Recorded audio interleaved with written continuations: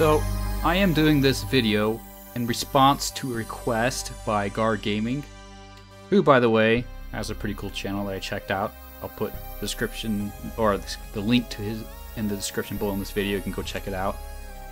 Basically, doing epic voice, uh, fake, uh, you know, epic movie voice, whatever.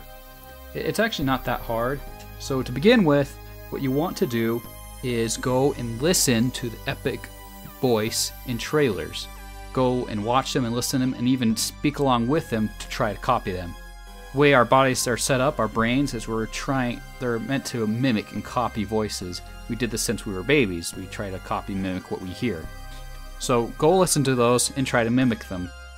After you've done that, then you can come in here to Sony Vegas and then you can attempt to recreate that voice yourself.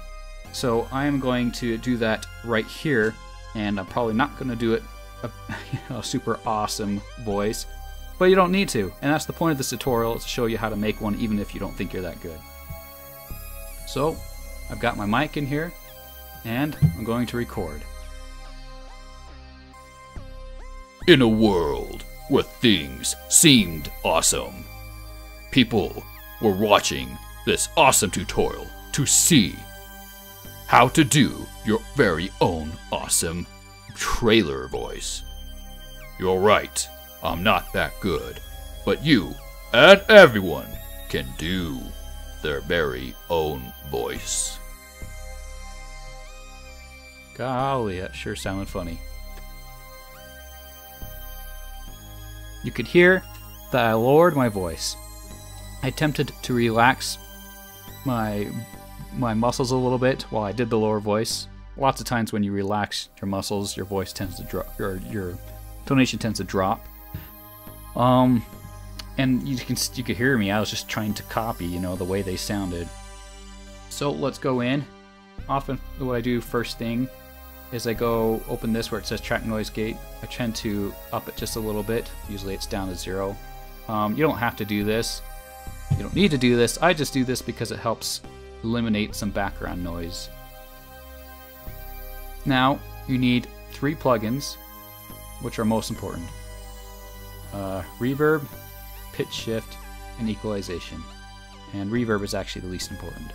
So, equalization, bring up the bass. Usually I don't go above 10. If you really want a lot of bass, you know, 7, 8, pretty good limit right there. Pitch shift, make sure you preserve duration, and now we take it down. For me, I take it down to 2. People who have lower voices won't need to go as far down. People with higher voices might need to go down further. But we'll leave mine at 2. Reverb. Typically, you don't need a whole lot of reverb.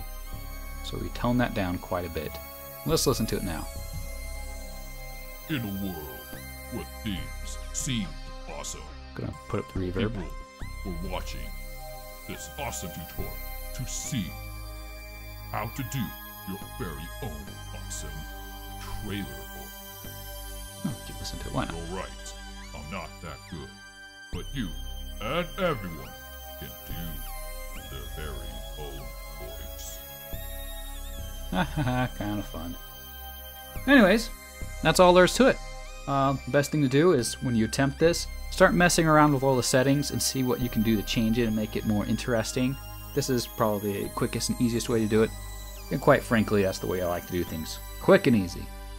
Anyways, enjoy your new awesome epic movie trailer voice.